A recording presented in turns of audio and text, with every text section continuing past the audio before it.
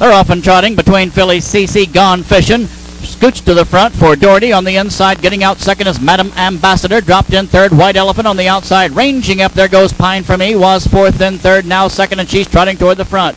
Pine for Me. Rolling on the outside for John Johnson. The leader is CC Gone Fishn. And now there's room behind the leader because off stride to the outside goes Madam Ambassador. But not waiting is Pine for Me. She wants the lead. She has it before the quarter on top by a length and a half. CC Gone Fishn is getting a trip now, second covered. Racing third, White Elephant. Fourth past the quarter mile mark. As they straighten down the backside is dead even. Trotting five, Judy Garland. Racing six is Eye Candy. After mistake, trotting seven, Madam Ambassador. And off stride behind the gate, way, way back. As they race to the half is Castle and Pine. The quarter was trotted in 28-3 to the front. There goes CC Gone Fishn. And Doherty sends the county fair champion to the lead. Before the half, she's on top by two. Racing second is Pine for Me. Trotting eight lengths off the lead, third White Elephant. Racing fourth past a 59 half is dead even. Five is Judy Garland moving to the outside. Racing six behind her is Eye Candy. They're in the upper turn. And also off the rail ahead of Judy Garland comes dead even. The leader, CC Gone Fishn. She leads them toward three quarters.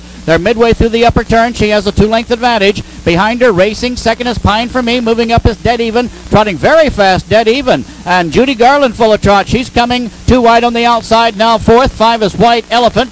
Racing six top for the lane is Eye Candy. They're at the three quarters and 131. They turn for home. And leading the way, CC Gone Fishn. Looking for win number 11. Now she has a five length advantage. On the outside, Judy Garland continues her drive. She's second with a shot, closing ground. And leading the way is CC Gone Fishn. And here comes Judy Garland flying for Ackerman. CC Gone Fishn, Judy Garland to the wire. CC Gone Fishn is going to hang on and win it by four lengths.